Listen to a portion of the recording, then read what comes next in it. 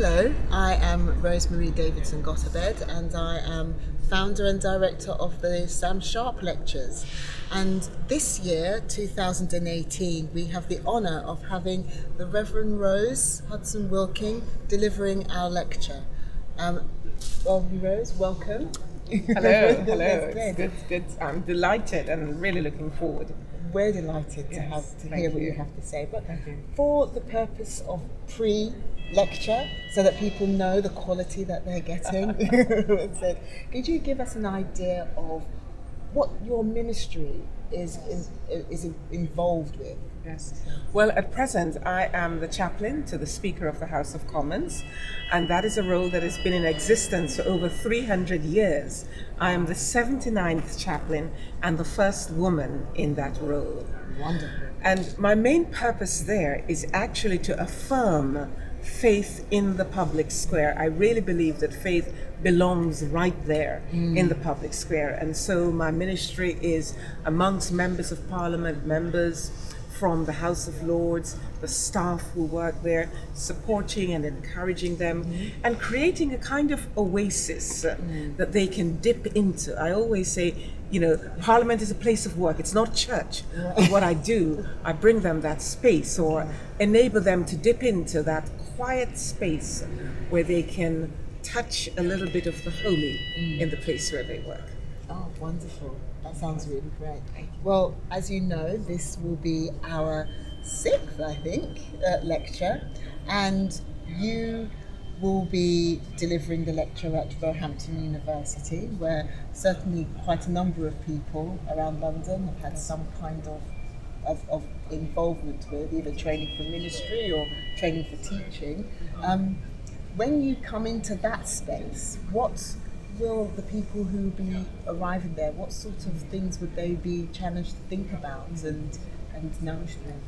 Well, let me go back a little bit by saying that I'm lucky. I'm from Montego Bay itself, Ah. and there is a statue of Sam Sharpe Yes, there is. there, right in the city centre And of Montego. Bay. Yes, yes, ab- church. Wow, absolutely. yes. So I am coming to this from a real angle Mm. where having been born and brought up there Mm-hmm. and know the value of Sam Sharpe Mm. and what he brought to that society, Mm. I want us here in the diaspora in the United Kingdom Mm. Yes.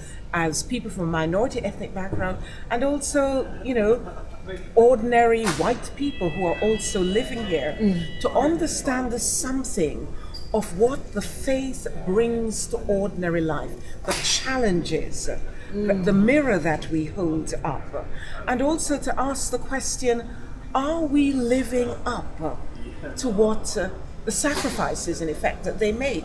Huge sacrifices, costly. It costed them their lives. Uh, What are we doing about those sacrifices that were made? Are we taking it for granted? Are we building on that foundation? So that's what I hope we're going to be wrestling with. Oh, wow. Yes. It's not just the foundation, it's a gift.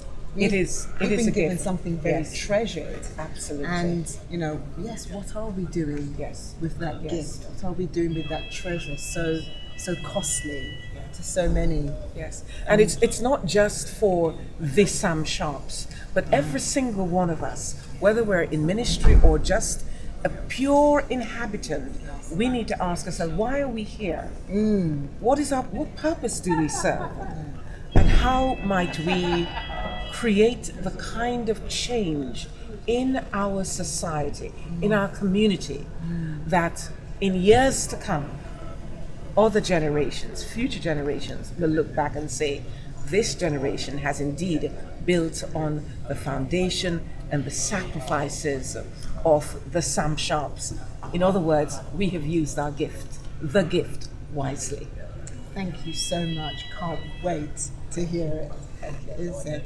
So, please do come along. It will be the best evening that you've spent in October for a while. Um, for more details, follow the link at the bottom of this video. Look forward to seeing you there.